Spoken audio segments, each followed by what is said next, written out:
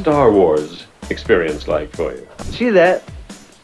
Over 12 inches from there to there. Big feet. I was dressed as a, rather like an Edwardian chauffeur, as Grand Moff Tarkin, and a pair of boots, riding boots, was it came right up here, tight fitting, you see. So there I was on the first day of shooting, stomping around, and it was agony, Ivy. It really was.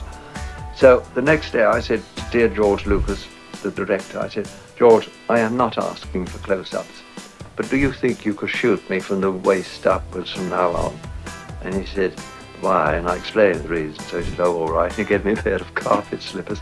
So for the rest of the film, I stomped around looking extremely angry and very cross with that dear little Carrie Fisher.